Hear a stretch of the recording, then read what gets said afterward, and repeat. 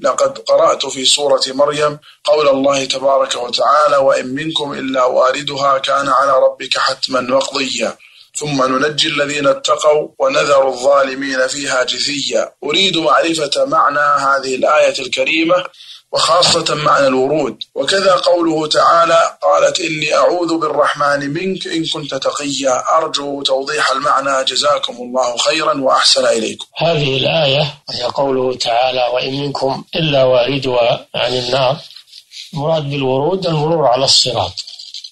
المرور على الصراط يمر عليه كل الخلائق المؤمنون والكفار. أما المؤمنون فينجيهم الله جل وعلا بأعمالهم تسير بهم أعمالهم فوق الصراط. ينجيهم الله بذلك. وأما الكفار فيسقطون في جهنم. ثم ننجي الذين اتقوا ونذر الظالمين فيها جثية. وأما قوله تعالى عن مريم قالت إني أعوذ بالرحمن منك إن كنت تقيا. هذا لما جاءها الملك في صورة رجل وهي في مصلاها. الذي اعتزلت فيه عن الناس وتخلت بربها سبحانه وتعالى للعبادة. جاء جبريل في صورة رجل بأمر الله سبحانه وتعالى لينفخ فيها لينفخ فيها آه، المسيح عليه السلام.